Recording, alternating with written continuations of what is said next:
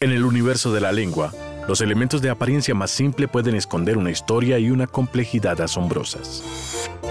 Todos los hispanoparlantes recordamos sin duda que el sonido de la letra A es el primero que aprendemos a asociar con su forma y asimismo el primero que aprendemos a escribir. Nada más simple.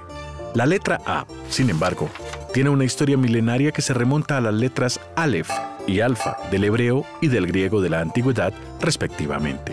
Aleph ya aparece en el Génesis, que narra cómo en el principio creó Dios los cielos y la tierra y separó la luz de las tinieblas. Y la letra alfa en la teogonía de Hesiodo, que nos cuenta que primero existió el caos y después la diosa Gea, y que del caos surgió la noche, y de la noche el día. Cuando está sola, la letra A puede indicar un lugar al que nos dirigimos o una acción que vamos a realizar. Vamos a la casa o vamos a estudiar. Aparte de cumplir estas funciones gramaticales, la letra A puede tener otro significado cuando está al inicio de una palabra, como en afónico y anónimo. En este caso, proviene de la raíz griega que se representa con la letra alfa y significa carencia. Afónico, que carece de voz o de sonido, anónimo, que carece de nombre.